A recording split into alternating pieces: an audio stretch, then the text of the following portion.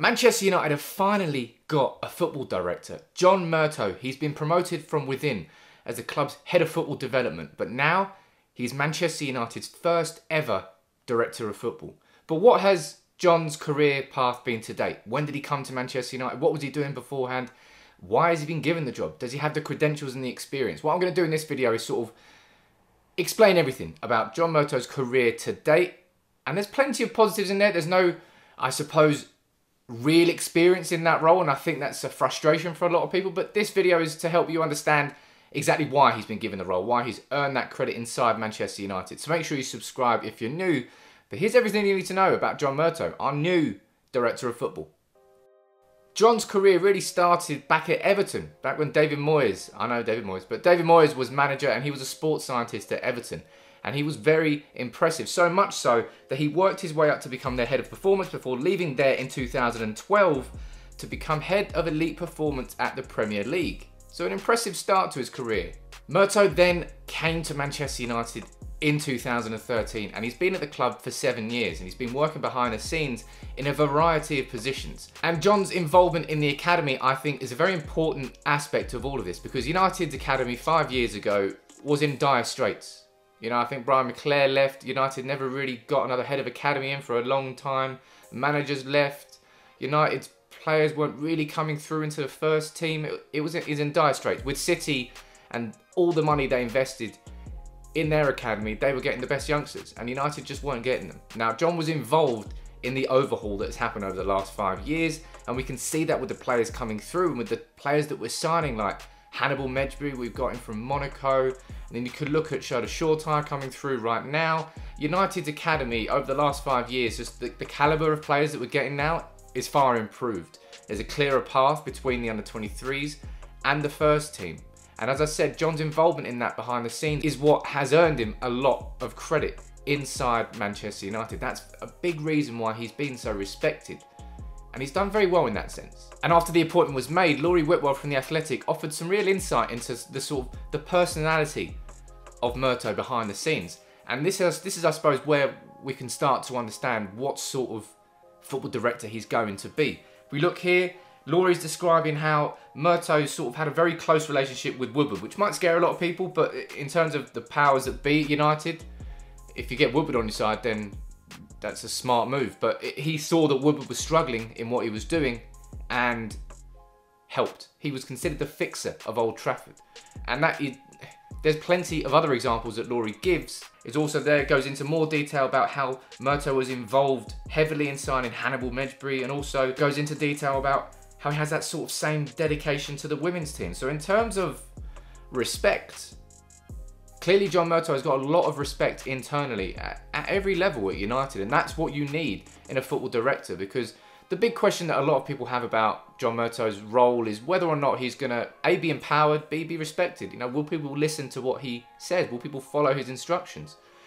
That's going to be down to how he manages people. Uh, but he wouldn't have been given this position if United did not trust that he could do that. And that is a really important aspect to focus on because he doesn't have the direct experience in the role. If we look at best in class appointments, Murtough doesn't really tick any of those boxes whatsoever.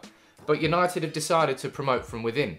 We've got Darren Fletcher in as well as a technical director. He'll sort of work between the academy and the first team and sort of bridge that gap and also work directly with John.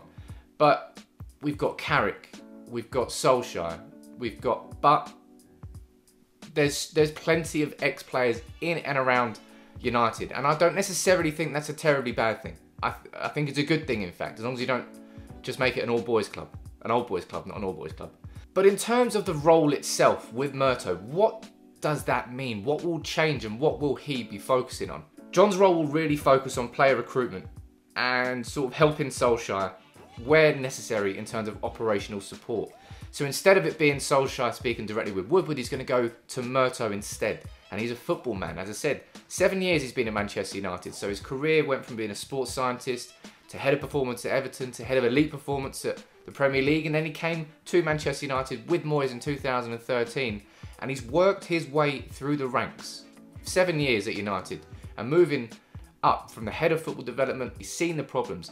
He's helped completely restructure the academy. And in terms of, of a success story at United in the last five years, the overhaul of the academy has probably been the biggest success story that we've had. Not much is said about it because not much is really. It, you can see it in terms of the players that are coming through, the, the levels of the performances that are going with the under 18s and the under 23s. But from where we were to where we are now, we're starting to bring in some of the world's best youngsters again. And we had lost that ability, but that changed because of the work that John had done with Nicky Butt and the whole academy system. So that's the thing I'm really going to focus on, I suppose, and that's the thing I have been focusing on this video. That should hopefully help you understand a little bit about why John Murtough was given the role and why it wasn't given to an external candidate. Was that a simple... if United wanted to get best in class, we've said it along, we've all said it together. We could have gone out and got it. We had the money. We were Manchester United. They would have come, but we didn't. And I think that was because Woodward didn't want to relinquish power, which is which is a lot of a lot of you have that fear that this appointment is nothing more than lip service, that it's not going to change anything. But for me, the immediate change is that Matt Judge now now his boss, his direct boss, is John Murtough, not Ed Woodward. If Solskjaer wants to speak to somebody about football operations, he doesn't go to Woodward anymore. He goes to Murtough. Woodward is cut out of the of the big decision. He's got the ultimate power of decision, but in terms of the the, the shaping of that decision and, and the decision that comes to his feet, he's not involved in that anymore, and that's a huge step. And I hope that John can bring the same sort of transformative success to United's first team and the recruitment that has been good, but it still needs to be better. Matt Judge, he needs mentoring because he shouldn't still be in that job, but he is. But at least he's got a different direct boss. That's what I think anyway. But let me know what your reaction is to the John Murtough appointment. Hopefully this video has helped you understand sort of where he's come from, his his career path to date, what he's done at Manchester United, why, where and why, sorry, he's earned that respect inside United and why United were prepared enough to make him the man that became our inaugural director of football. But at least we've got one. Absolutely happy days we've got one. And I'm going to hold my judgment on John Murtough because I'm impressed with what he's done with the academy.